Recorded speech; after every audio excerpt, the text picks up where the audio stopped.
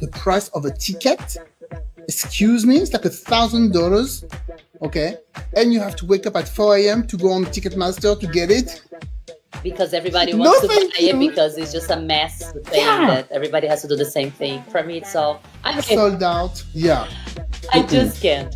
When everybody's doing something, I just wonder, like, really? I start questioning, like, is this really? Because sometimes I just Mhm. feel like it's people just being influenced. Because I don't know, it's just too much. And you know, in Brazil, they had a concert there. It was huge, super Yeah. expensive. Like it's a broken country. People don't have money. You know what they do? money for that. You know what they do? They buy it on the credit card and they pay in like in 24 Yeah. parcels or something, Mm. you know? Oh wow. and then they get in debt get a and loan. yeah and get a loan for that kind of shit yeah hmm to watch that concert because it's super expensive there know. and people are broke Yeah.